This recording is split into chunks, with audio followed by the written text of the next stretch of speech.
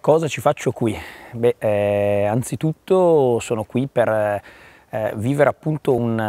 un, cammino in questo mese di, di, preparazione a quello che è eh, qualcosa che il Signore Gesù mi ha, mi ha messo nel cuore. Eh, io credo che eh, appunto prepararmi per eh, andare in missione, così come la mia diocesi mi ha consegnato questo percorso, ehm, è, è, qualcosa di vocazionale. Ecco, io boh, mi piace dire alle persone che incontro che non parto anzitutto perché bisogna aiutare, bisogna eh, fare qualcosa perché c'è bisogno, perché i bisogni sono tantissimi nel mondo e dovremmo andare ovunque in ogni momento, ma perché dentro il mio percorso vocazionale, perché il Signore chiama continuamente,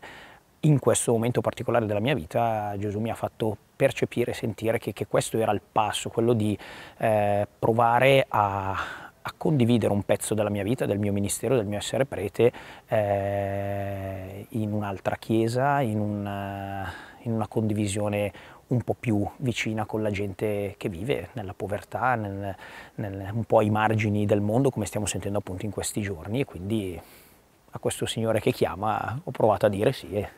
siamo qui per prepararci a questo sì. Ecco.